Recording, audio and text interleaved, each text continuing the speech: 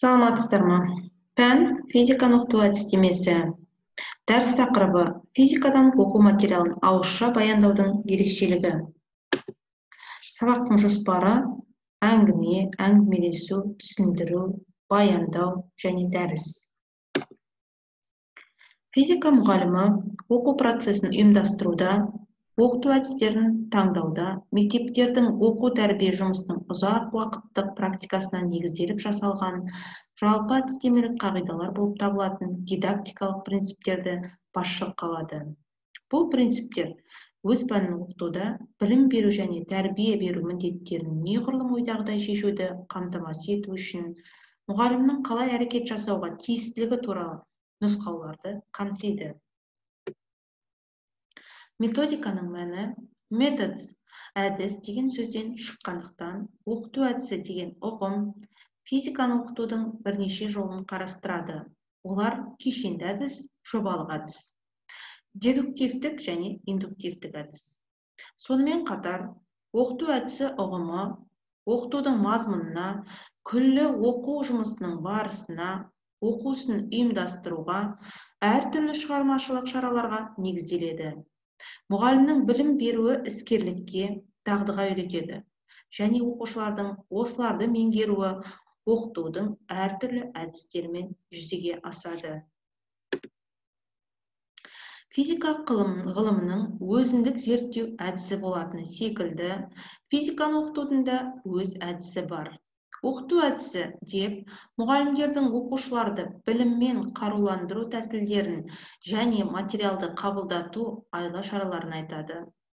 Оқыту әдістері көп тармақтан тұратын көп компонентті ғылыми практикалық ұғым.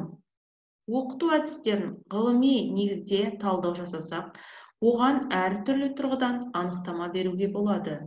Соларға тоқталып өтейік бірінші оқыту әдісі. Оқытушы мен оқушының бірлесіп жұмыс істеу тәсілдері. Екіншіден оқыту әдісі оқу үрдісіндегі алға қойылған мақсатқа жету үшін мұғалім мен оқушының бірігіп атқаратын қарекеті. Үшіншіден оқыту әдісі оқу үрдісіндегі педагог пен оқушының арасындағы өзара әрекет. Төртінші оқыту әдісі оқушыларға білім беретін жол. Бесінші оқыту әдісі оқушылардың танымдық процесін және олардың жеке басының дамуын ұйымдастыру формасы. Алтыншы оқыту әдісі оқу үрдісін оптималдандырудың бір амалы. Мұндай тұжырымдамалардың барлығының түпкі мақсаты оқушылардың білім алуының тиімді жолы мен әдіс амалын анықтау болып табылады. Оқыту әдістерін зерттеу негізінен дидактиканың міндеті ал жеке пәнді оқыту оның ішінде физиканы оқыту әдістемесінің мақсаты физика мазмұнының ерекшелік сипатына лайықты сабақта оқыту әдістерінің тиімді тәсілдері мен әдістемелік амалдарын қолданудың жолдары мен формаларын анықтау. Мектеп өмірінде оқыту әдістерінің бірнеше түрлері қолданылатыны белгілі. Сондықтан оларды классификациялау принциптері де әртүрлі. Олардың ішіндегі дұрыс деп қолданылып келген принцип оқушылардың алатын білім көздеріне және мұғалім мен оқушылардың бірлесіп жүргізетін қызметіне байланысты классификациялау. Бұл принцип тұрғысынан оқыту әдістері үш түрге бөлінеді. Сөзбен баяндау әдістері көрнекілік әдістер практикалық әдістер. Әңгіме. Оқу материалын ауызша баяндау. Ахмет байтұрсынов сөзден әдемілеп әңгіме шығару өнері үй салу өнеріне ұқсас дейді. Сөз өнерінің айшықты болуы сөздің дұрыстығына тілдің анықтығына дәлдігіне көркемділігіне тіл тазалығына байланысты екенін дәлелдеп алмастыру кейіптеу бейнелеу ұқсату әсірелеу тәсілдерінің мәнін ашады. Әңгімелесу. Ол біріншіден мұғалім оқушыларда бар білімдерге практикалық тәжірибе мен тәжірибелік көрсетулерге сүйеніп сұрақтардың көмегімен оқушыларды жаңа білімдерді түсінуге алып келетін оқыту әдісі. Жетінші тоғызыншы сынып араларындағы физиканы оқытуда қолданылатын әңгімелесу әдісі жаңа материалдарды оқып үйренудің және оқушылар білімдерінің сапасын тексерудің негізгі әдістерінің бірі. Енді соларға тоқталып өтейік. Физикалық құбылыстардың мәнін ашып айқындау кезінде тәжірибелермен ұштастырғанда сабақта оқып үйренген материалдың меңгерілу сапасын тексеру кезінде физикалық заңдарды демонстрациялық экспериментпен және жеке оқушылардың фронталдық экспериментімен ұштастыра оқып үйренген кезде жаңа материалдарды оқып үйрену процесінде оқушыларды белсендіру үшін бұрын өтілген материалды қайталау кезінде физикалық ұғымдарды қалыптастыру барысында алға қойылған мәселелерді шешу жолдарын анықтау кезінде әңгіме ол екіншіден бұл мұғалімнің материалды дәйектілікпен бейнелі түрде диалогпен үзбектемей баяндап беруі. Оның қолданылатын мақсаты біріншіден оқушыларды өнер табыстардың және физикалық заңдарды ашудың тарихы мен ғалымдардың өмірбаянын айтқанда. Екіншіден ғылым мен техниканың жетістіктерімен және даму болашағымен таныстырған кезде үшіншіден табиғат пен техникалық қондырғыларды бақыланатын құбылыстарды сипаттағанда. Төртіншіден оқып үйренілетін физикалық құбылыстар мен заңдардың құралдар мен техникалық құрылғылардың ғылымда техникада қолданылуын оқып үйренгенде. Әңгіме арқылы жаңа білімді хабарлау үшін оған кейбір қойылатын талаптар бар.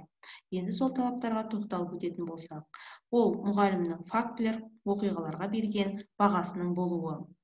Ой пікірдің дұрыстығын дәлелдейтін жарқын және нанымды мысалдардың фактілердің жеткіліктілігі. Әңгіменің оқушылардың адамгершілігіне әсер етуі. Әңгіменің әсерлігі. Әңгімеде дәлелді және ғылыми фактілердің болуы. Әңгіменің жүйелілігі болу керек. Тілінің қарапайымдылығы және түсініктілігі болу керек. Әңгімелеу әдісінің артықшылықтарына тоқталып өтетін болсақ олар ес пен тілді дамытуы оқушылардың оқу танымдық қызметін белсенді етуі оқушылардың білімінің белгілі болуы жақсы диагностикалық құрал үлкен тәрбиелік күші бар. Енді әңгімелесу әдісінің кемшілігіне тоқталып өтетін болсақ уақыттың көп кетуі қауіп элементі бар. Ол оқушы дұрыс жауап бермеуі мүмкін оны басқа оқушылар естіп есінде сақтап қалады. Әңгімелесу оқытудың диалогтық әдісі. Мұғалім оқушыларға мұқа мұқият ойластырылған сұрақтарды жүйелі қою арқылы олардың жаңа оқу материалын меңгеруіне жағдай жасап бұрын оқылған материалдарды қалай меңгергенін тексереді. Әңгімелесу сонымен қатар дидактикалық әдістің ескі түрі. Оны сократ шебер түрде қолданған. Сондықтан әңгімелесу әдісін сократ әдісі деп атайды. Түсіндіру. Жеке ұғым құбылыстарды құралдар көрнекі құралдардың жұмыс істеу әдісінің тәсілдерін ауызша баяндау. Түсіндіру әдісіне қойылатын талаптар. Біріншіден сұрақтарды дәл және анық тұжырымдау. Екіншіден себеп салдар. Байланысын ашып дәлелдер келтіру. Төртінші салыстыру қатар қою ұқсату жарқын мысалдар қолдану жүйелік.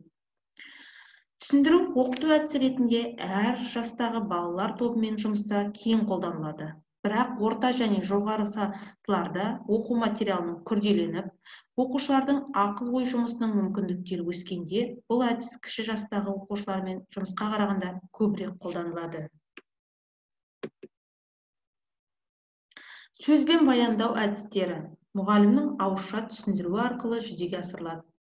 Оқушыларға берілетін білімнің негізгі көзі мұғалімнің сөзі ал мұғалімнің әрекеті сөзбен түсіндіру оқушылардың қызметі міндеті тыңдау ойлануы.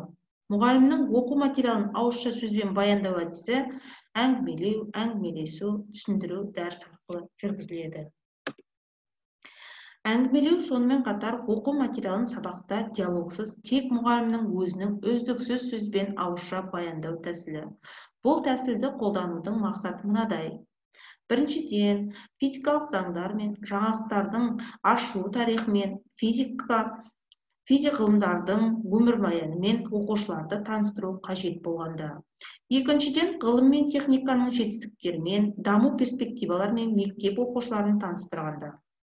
Үшіншіден физикалық заңдар мен құбылыстардың ғылымдағы техникада өмірде қолданылуын түсіндіргенде табиғатта және техникалық қондырғыларды байқалатын физикалық құбылыстарды баяндағанда.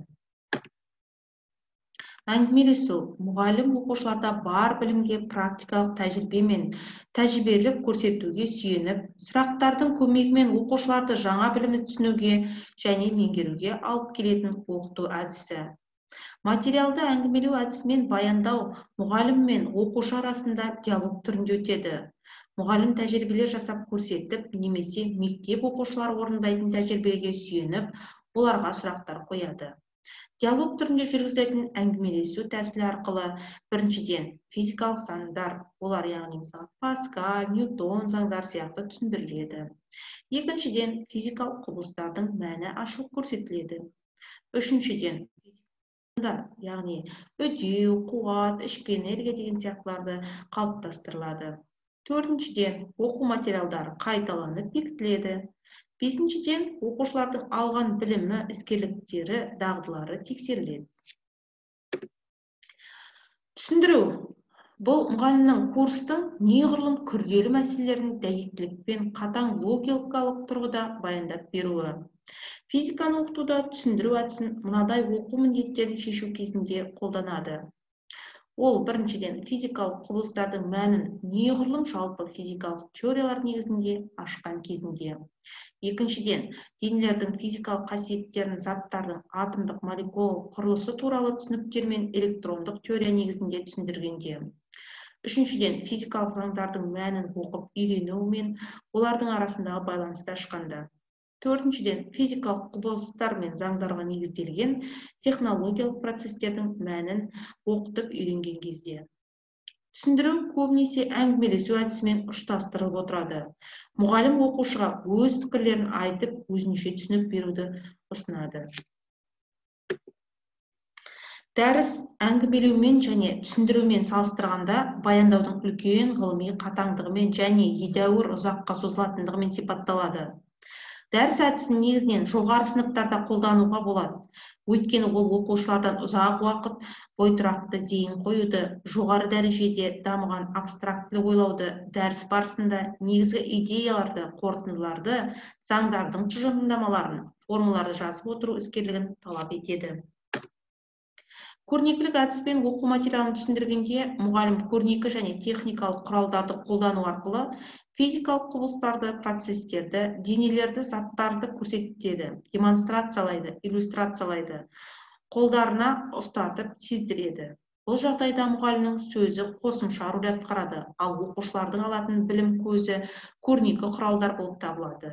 Мұнда мұғалімнің оқыту қызметі көрсету мен демонстрациялау сабақтағы оқушылардың оқу қызметі бақылау эксперименттік фактілерді көріп ойлану қорытынды жасау білім қорын байыту көрнекілік әдістердің түрлеріне демонстрациялық эксперимент схема плакат сызу сурет кино диафильмдерді жатқызуға болады. Педагог каменский көрнекілік әдісті мұғалім үшін алтын ереже санаған. Себебі оның нәтижесінде оқу материалын оқушылардың нәтижелі қабылдауларына мол мүмкіндік туады. Мысалы көруге болатынды көреді және тағы сол сияқты. Практикалық әдістерге физиканы оқыту процесінде жүргізілетін лабораториялық жұмыстар физикалық практикумдар сыныптан тыс бақылаулар жүргізіп есеп шығару жұмыстар жатады.